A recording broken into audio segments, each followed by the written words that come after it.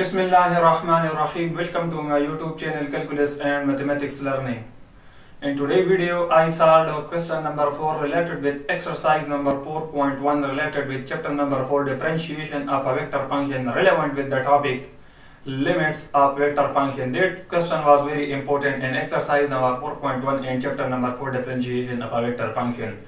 In today's video, I am going to solve the last question related with the same exercise number 4.1 related with the continuity and discontinuity of a vector function. So the function will be continuous uh, for which we will going to find the domain of the vector function and then after we will prove the right hand limit and left hand limit will be the same of the vector function for the function to be continuous. So let's move toward the question number 5. Test the continuity for the following expressions for all values of t. So there are total six part. Part number A is f of t is equal to ti plus 3j minus into 1 minus tk. Over here we have ti. So ti is defined for each and every positive real number. Hence the domain of this function is real. The function is continuous over here. And over here 3 is also a constant. This domain is also a positive or negative real number. We can take any value from negative infinity to positive infinity. Hence the, this function is also continuous. And if we look at this function, this function is also continuous. If we put uh, each and every value are given each and every positive or negative this, to this independent variable t, it will give the output positive or negative. It means the domain of this function is all, also real.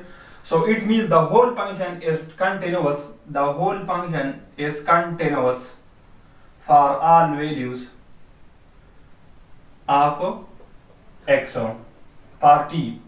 Over here the independent variable is t, so it is continuous for all real values for all positive or negative values of t. Move to the first number b g of t is equal to ti minus t raised to power minus 1k. Now look at the ti. So over here we have t. So this is defined for each and every positive real. So the domain is real. And if we look over here t raised to the power negative 1. So t raised to the power negative 1 can be written as 1 over t. Now over here the, fu the function is in fraction form. So you know that when the function is, the, is in the fraction form, so the denominator should not be equal to 0. Over here in denominator we have t.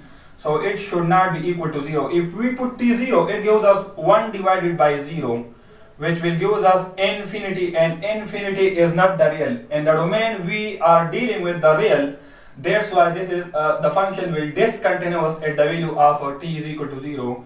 The function will discontinuous at t is equal to 0. So it means that uh, this function is defined, uh, f, of, f of t is defined for all values of t except uh, t is equal to 0. This will be the required and desired answer.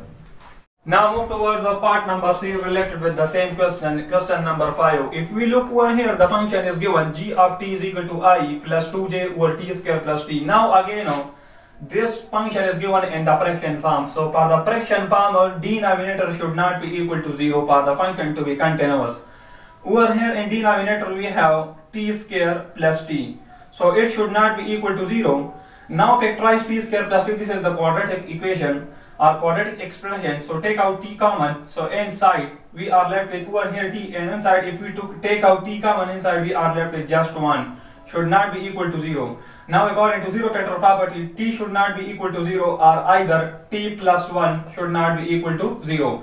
Now from over here shift 1 to the right hand side it becomes t should not be equal to negative 1. So it means that uh, this function is defined for all positive or, or negative real values except t is equal to, t is equal to 0 and except t is equal to negative 1. If we put t0 over here it gives us 0 0. So something over 0 gives us infinity and if we put minus 1 so it gives us 1 and over if we put minus 1 it gives us again 0 in the denominator so something over 0 again gives us infinity which is not defined for the domain. That's why this function is continuous for all value of t except t is equal to 0 and except t is equal to negative 1. Move toward part number D. Over here we are given with uh, f of t is equal to e power t into sine ti plus e raised to power t into cos of tk. Now you know that sine is the trigonometric function whose domain is uh, a real values.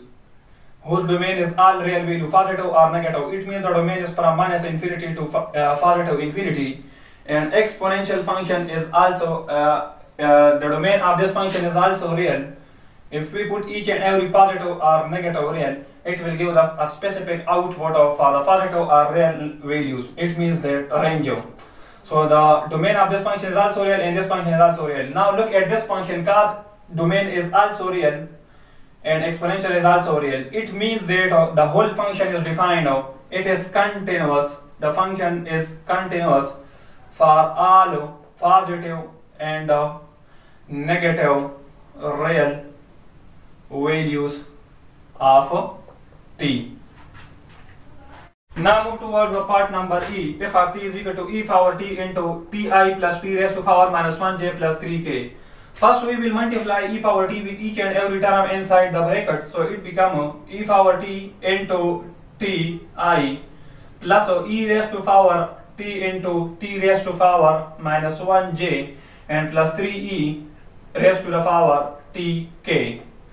Now again by further simplification it becomes e raised to the power t into ti plus e raised to the power t, t raised to power minus 1 can be written as 1 over t j plus 3 e raised to the power t k. Now this function is discontinuous for e, t, e power t into t because this is not interaction form if we put each and every positive or negative real it will give the output a positive or negative real. It means this function is continuous. The domain of this function is also real so this is also continuous. Now look at this function. This is again given in the fraction form. So in denominator we have t. So denominator t should not be equal to 0. It means this function is defined for all real values except t not equal to 0. So the, this is actually the required and desired answer. Move to the last part of question number 5 in today's lecture. Function is given g of t is equal to ti plus under root of tj divided by under root of t square plus t. Again we have in fraction form the function is given. So in the denominator we have under root of t square plus t. So it should not be equal to 0. Taking square on the both sides. So it becomes a t square plus a t whole square should not be equal to 0 whole square. Square cancel out with square we are left with t square plus t should not be equal to 0. Take out t common inside we are left with t plus 1 should not be equal to 0. Again by zero factor property t should not be equal to 0 or either t plus 1 should not be equal to 0. Shift 1 on the right hand side it becomes t should not be equal to negative 1. It means that this function is defined and uh, for each and every positive real value except t not equal to 0 and except t not equal to negative 1 at these two values the function will discontinuous. So this function is continuous f of t g of t is continuous for all positive and negative real values except t is equal to 0 and t is equal to negative 1.